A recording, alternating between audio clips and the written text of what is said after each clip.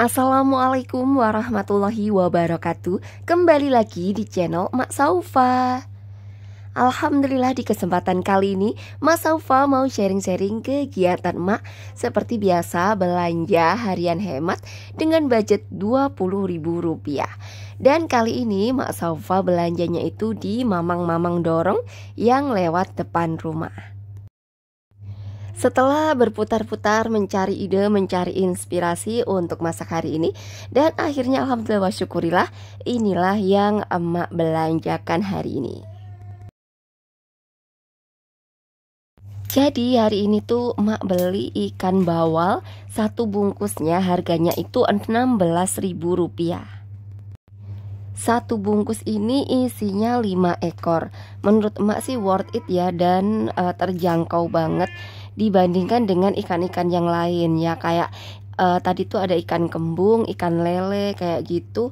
Harganya itu sudah mulai uh, kayak 20 ribuan gitu loh bun. Terus kalau ikan lele itu sayangnya anak-anak tuh nggak terlalu suka gitu. Jadinya emak akhirnya memutuskan untuk membeli ikan bawal ini.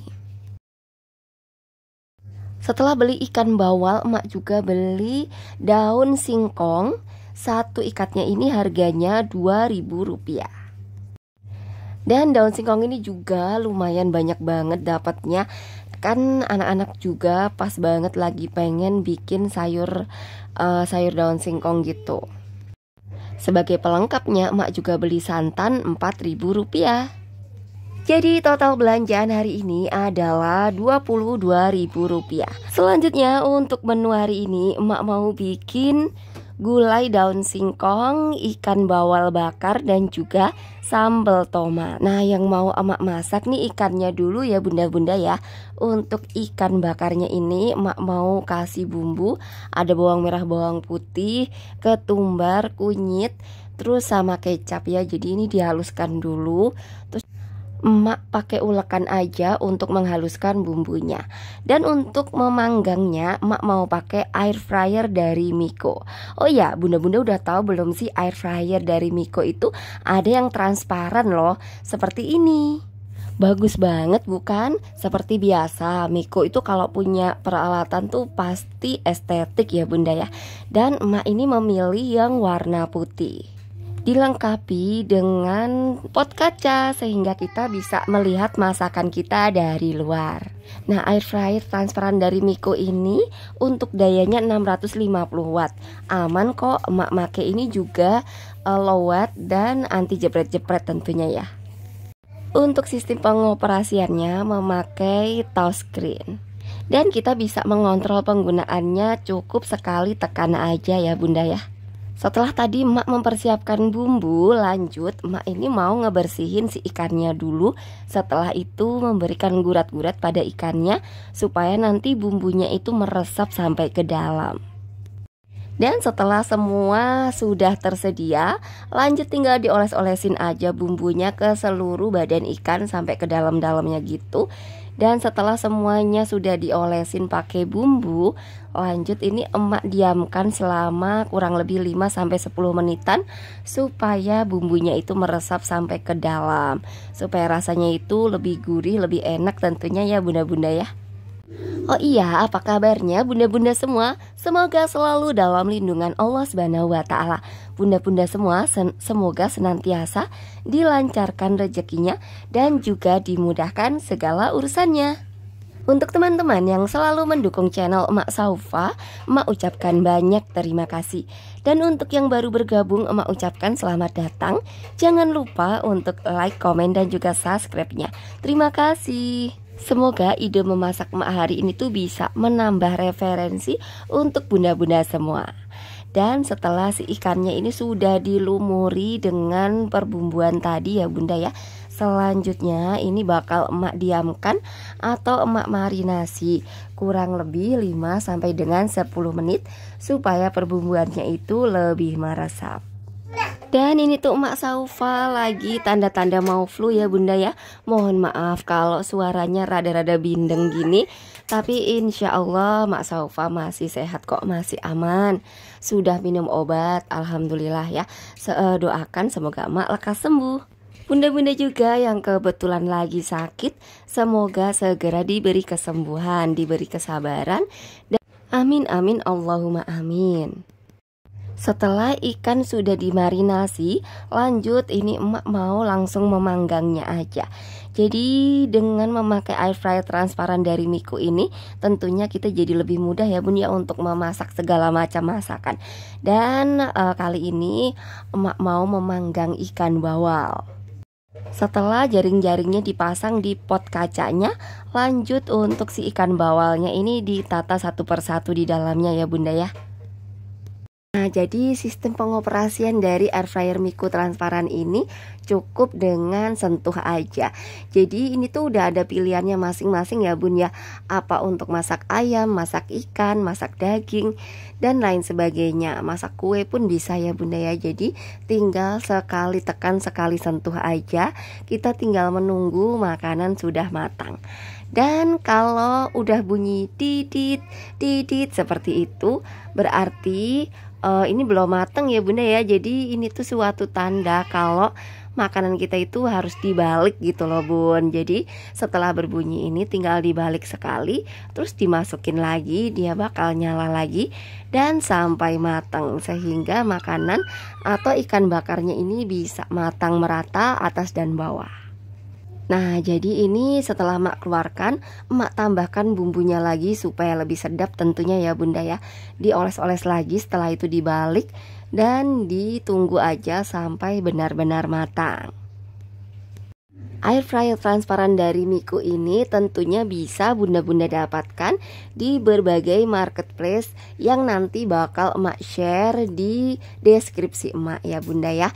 Jadi bunda-bunda yang pengen samaan sama emak bisa segera cus beli air fryer transparan di marketplace. Kesayangan bunda-bunda semua Alhamdulillah untuk ikan bakarnya sudah matang dan segera emak keluarkan ya bunda ya. Segera emak taruh di wadah sajinya. Masya Allah tabarakallah. Ini tuh bener-bener matang merata dan tentunya enak banget ya ikan bakarnya. Masya Allah dengan air fryer transparan ini memudahkan banget kita ibu rumah tangga untuk memanggang, menggoreng tanpa minyak, membuat kue dan lain sebagainya setelah penggunaan suhu pot kaca tinggi, uh, sebaiknya tunggu sampai pot kaca benar-benar dingin sebelum dibersihkan. Harap selalu menggunakan sarung tangan pengaman yang tahan panas ya Bunda ya, supaya tangan kita terlindung dari panasnya kaca.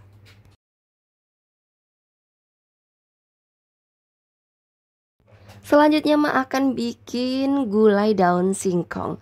Jadi daun singkongnya tadi setelah dipetikin ya bunda ya.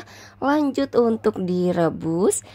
Direbusnya ini kurang lebih 5 sampai dengan 10 menitan gitu Sampai kira-kira si daun singkongnya ini empuk. Dan mohon maaf kalau backgroundnya ini tuh nggak bisa ya bun ya hening gitu beneran. Karena si duo bocil si kakak Asan sama si Dede Arkan ini bener-bener ya masih kecil beranu apa ya namanya rebutan mulu apa aja dibikin rebutan. Padahal mereka tuh masih kecil loh bunda ya. Tapi kok suka banget berebutan apa aja gitu. Ya namanya juga ini ya bunda ya adik kakak ya. Di mana pun pasti kayak gitu ada aja yang direbutin. Tapi kalau nggak ada mereka saling mencari. Iya nggak sih bunda-bunda uh, bunda-bunda yang uh, anaknya berdekatan juga suka kayak gitu nggak sih? Jadi mohon maaf kalau selalu ada suara-suara mereka, suara-suara mainan yang berserakan atau apa pun itu ya Bunda ya. Mohon maaf apabila uh, ada yang ada suara yang mengganggu gitu loh maksudnya. Dan ini si daun singkongnya itu lagi emak irisin Untuk bumbunya. Emak memakai bawang merah, bawang putih, kemiri, kunyit. Di sini emak tambahkan daun salam. Terus uh, cabenya itu berapa biji gitu aja ya bunda ya Supaya nggak terlalu pedas. Setelah itu lanjut perbumbuannya ini mau emak haluskan dan setelah dihaluskan tinggal ditumis aja ditumis terus sampai wangi sampai benar-benar tanak ya bumbunya ini. Diaduk-aduk aja terus gitu. Dan setelah itu tambahkan air secukupnya. Diamkan sampai air benar-benar mendidih. Dan setelah itu masukkan si daun singkong yang tadi udah diiris-iris itu ya Bunda ya. Sambil nungguin airnya mendidih, di sini emak mau menghaluskan sambal tomat yang tadi sudah emak siapkan ya. Ada cabai, bawang merah, bawang putih dan juga tomat. Jadi di sini emak haluskan dan lanjut ini mau emak langsung goreng aja si sambal tomatnya ini. Di sebelahnya tungku lagi tadi memasak gulai daun singkong jadi supaya nanti matangnya bersamaan dan untuk si gulai daun singkongnya ini uh, tambahin perbumbuannya ya bunda ya. Ada gula ada masako terus dicicipin rasanya. Oh iya sampai lupa jadi kalau kita mau masukin santannya jangan lupa apinya dikecilkan. Setelah itu dituang ya santannya. Dan diaduk-aduk pelan aja supaya santannya ini tidak pecah. Dan lanjut untuk si sambal tomatnya ini tadi. Uh, Kalau ada gula merah sih dikasih gula merah sama masako. Dan dicek rasa ya bunda ya. Disesuaikan dengan selera Alhamdulillah wa syukurillah dari belanjaan 22.000 hari ini. Alhamdulillah bisa jadi dua menu masakan. Ada ikan bawal bakar Terus sama gulai daun singkong Masya Allah tabarakallah. Sebagai pelengkapnya ada sambal tomat. Ini tuh udah sedep banget bunda. Masya Allah beneran deh. Udah enak banget. Bunda-bunda bisa dicoba ya di rumah ya Hmm, jangan sampai takut kalau ngabisin nasi ya bunda ya. Nah ini tuh di video masakannya udah matang Dan tinggal ditaruh di wadah aja untuk disajikan. Di dapur emak ini tuh lagi banyak banget semut ya bunda ya. Entahlah itu semut dari mana Pokoknya lagi banyak banget semutnya.